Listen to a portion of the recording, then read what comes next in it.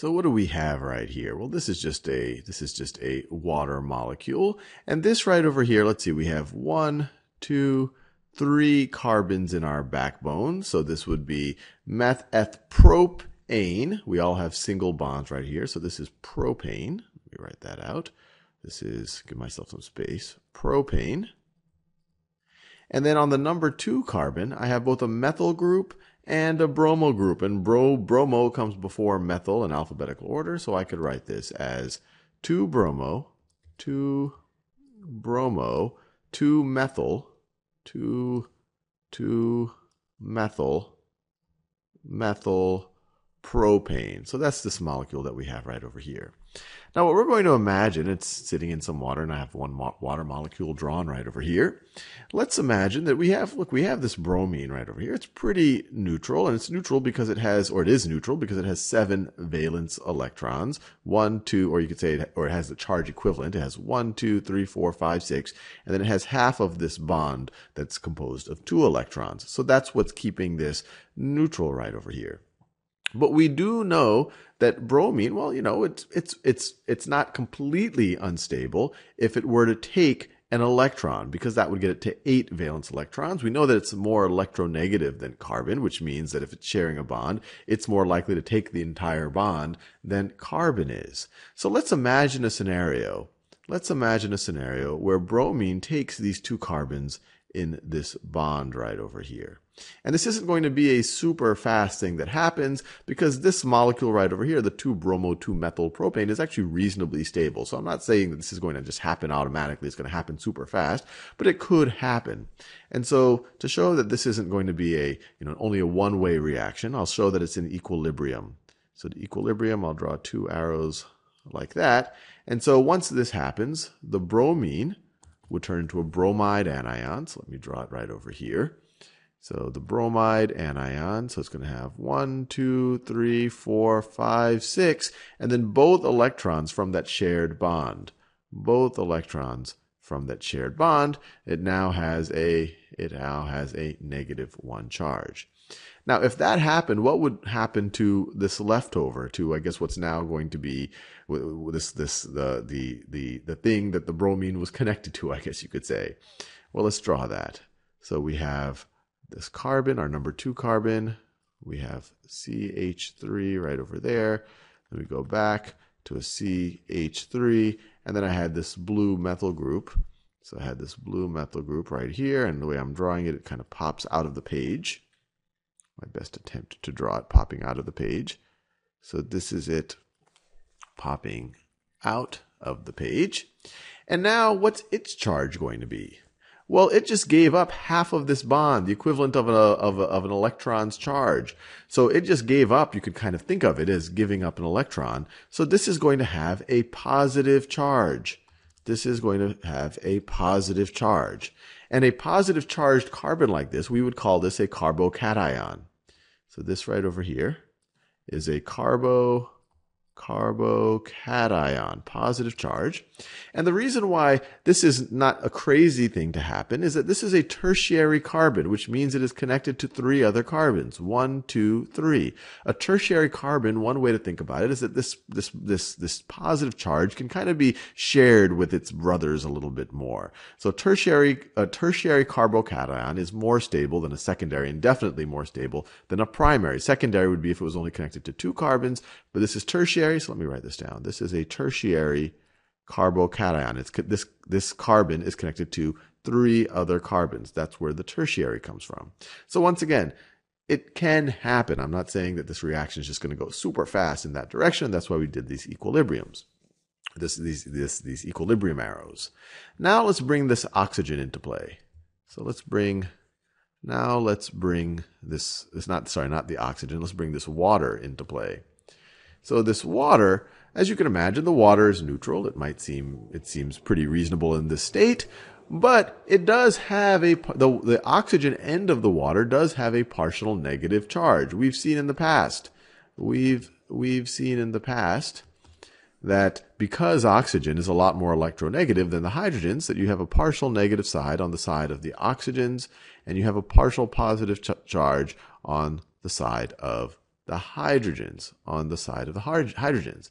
And so you have this positive carbocation. This has a partially negative charge. So you could imagine that this, this molecule might be attracted to this nucleus. Now, it's not going to be super attracted the way that a hydroxide anion would. A hydroxide anion has a full negative charge. This only just has a little partial negative charge, but it could still be attracted to something very positive like this. So in this situation, the water molecule is a weak nucleophile. So this is a weak, a weak nucleophile. No, not as strong as a hydroxide anion that has a full negative charge, but if it sees, something positive like this and it bumps in the right way, you could imagine that one of these pairs of this oxygen would then go, one of these pairs on this oxygen would then go and essentially form a bond with this carbon, making this carbon, making this carbon right over here neutral. So what is that going to look like? And this might happen a little, this would happen faster, so I'm not going to do this as an equilibrium. This could happen like this. And let me, let me just copy and paste the bromine so I don't have to redraw the whole thing. So, so let me copy and let me paste it. So that's our bromine right over there. Draw it right there. Actually, let me erase that little, this little smudge and make sure it still has a negative charge. So negative charge. It's a bromide anion now. And now let me draw the everything else. So I have this carbon, this carbon. Let me scroll down a little bit so I have some space. Carbon, I have the carbon in the back, CH3. I have the carbon on top, CH3. I have the carbon in front. I have the carbon in front, like that. CH3. And now my oxygen, or the, I should say this molecule right over here, the water molecule has attached to the carbon. So these two electrons, you could say they've attacked the carbon. They now form a bond with the carbon. They form now, so those, these are those two electrons in this covalent bond. And now let's draw the rest of this. So you have the oxygen, you have these two electrons right over here, these two valence electrons. And then you have one hydrogen, and then another hydrogen. Now, what is going to be the charge? What is going to be the charge right over here on the oxygen?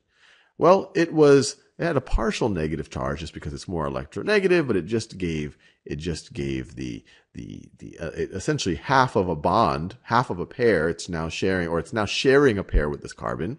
So it's equivalent of giving up one electron's equivalent of charge. So you now say that this thing right now has a positive a positive charge. So you could imagine, you could imagine, maybe another water molecule comes along. Maybe another water molecule comes along. Me draw another water molecule right over here. We're sitting in water, so there's plenty of water molecules. So another water molecule might come along and say, okay, well, you know, this is this this thing right over here is positive, but this the oxygen is hogging is is hogging these bonds a little bit more than the hydrogen, especially now that it's become positive. And so this might give its pair to a hydrogen proton, and then this hydrogen, and then this bond with the hydrogen will go entirely entirely to entirely to the oxygen. Let me draw that in a different color.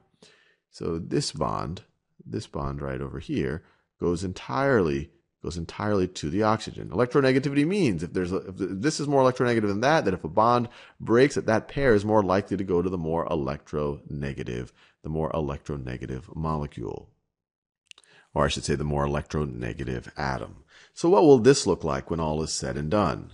So let's draw an arrow like this. So let me draw my main my main molecule. So I have the carbon. It has bonded to another carbon right up there. It's bonded to another carbon right over there. We have our carbon in front. We have our carbon in front, just like that. We have the bond with our oxygen. So we have our bond with our oxygen right over there. So that's our oxygen. It had, we have this bond with a hydrogen, this bond with a hydrogen. We have this pair, and now it has gained this pair it has gained this pair that was with that hydrogen. So just like this, this is now neutral. It went from being positive. It over here, it only had half of this bond. So it's kind of the, equivalent of one electron charge. Now it has the whole bond. So now it has the equivalent. It has literally has both electrons. So now this thing is neutral. And now this molecule right over here becomes a hydronium cation. Let me draw that. So this water, so let me see. So that's the two hydrogens right over there. This is that pair that is on top. And now, and now it is sharing, it is sharing this pair, this, this pair with a hydrogen, essentially with a proton.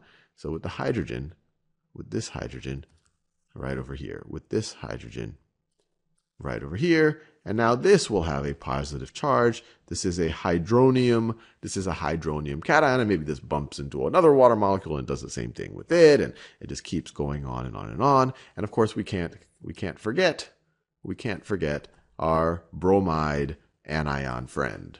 So there's our bromide anion friend. Got a negative charge right over there. And so what are we left with? Well, we are left with, well, there's a little bit of there's there's a there's this hydronium cation has a positive charge. You have this bromide anion.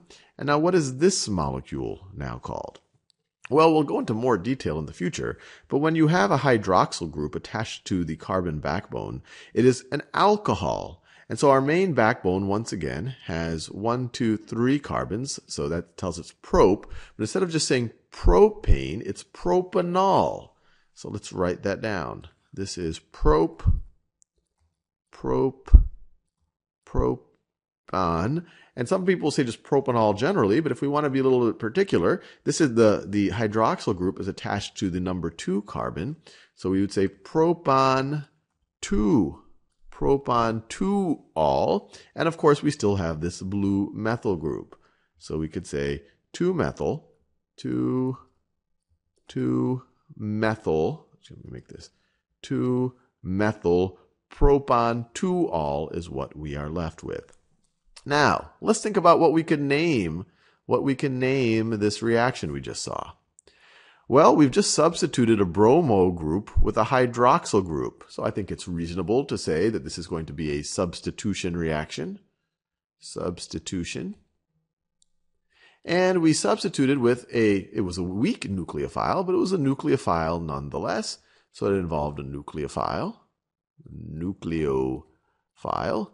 But this one, unlike the SN2 reaction, in the rate determining step, and this is the rate determining step, this is the slowest step of the process. Everything else will just kind of, kind of start happening once this thing happens. This thing kind of is in equilibrium. This is the rate determining step. Only one reactant is involved in the rate determining step. One reactant in rate determining step. Rate determining step. In this, in this case, it was the bromo group. So you might guess what we're going to call it. It's substitution involving a nucleophile. So nucleophilic substitution. You can imagine it stands for nucleophilic. And only one reactant is, vol- is involved in the rate determining step.